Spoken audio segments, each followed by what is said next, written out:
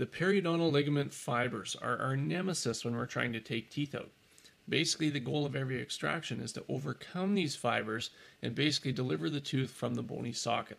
Now, there's a variety of ways to do that, and we're going to learn how to do it in our future videos. This video, basically the goal of it is to teach you a bit about the PDL fibers and the periodontal ligament space in order to give you a clearer understanding of why we use the techniques that we do when we're taking teeth out and why we use our instruments the way that we do and apply the forces that we do when we're extracting teeth. So without further ado, let's get into the PDL space.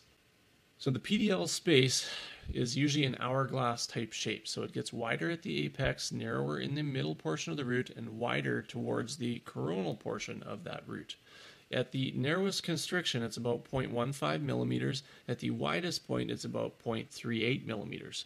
Now, I always get a kick out of it when dentists say, I'm going to use my 301 elevator and I'm going to just try to work it down the PDL space and get uh, that tooth luxated out of there.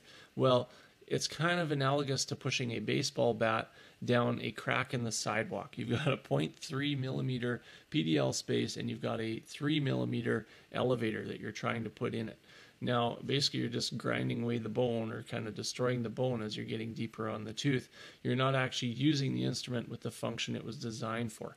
So, if you're trying to get into the PDL space, there's instruments for that, like your periotomes, your luxators, your luxating hybrids. We're going to get into all that later on. But we're going to try to understand why we're using those instruments for certain situations, and we're going to be employing them correctly, which is going to facilitate the extractions that we do.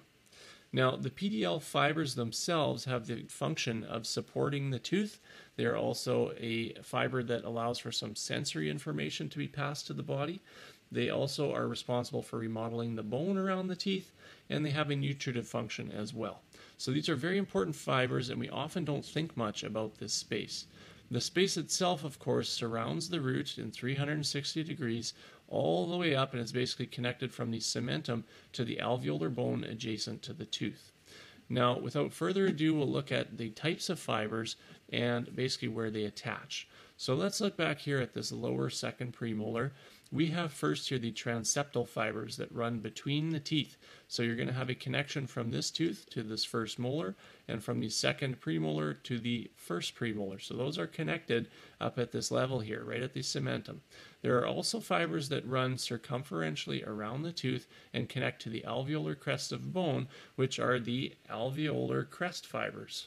Good name, hey? So, uh, next one down would be the horizontal fibers, and those are extending down below the crest a little ways. Now, this here, we'll stop here for a minute.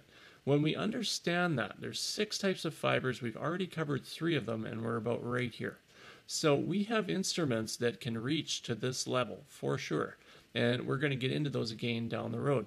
But wouldn't it be easier to take this tooth out if we use some instruments in the appropriate manner to sever the fibers down to this level to where we only have about you know a half the root left or two-thirds of the root left that's still connected to the bone well, one of the functions of this periosteal elevator, or say a 15 scalpel blade, would be to go all the way down to the bone, circumferentially around the tooth to release the gingiva and sever some of those crestal fibers. That is at the start of every extraction that you do. Next thing would be to use maybe a periotome or a luxator, something that you can work down the root in a uh, the long axis of the tooth to get down and sever the horizontal fibers. And you've already done half your job just by doing this simple step at the very beginning.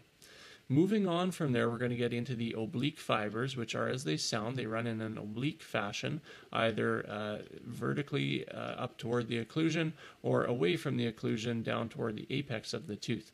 As you roll around the tooth here and get out of that middle portion, you're going to get into the apical fibers, which surround the apex of the tooth.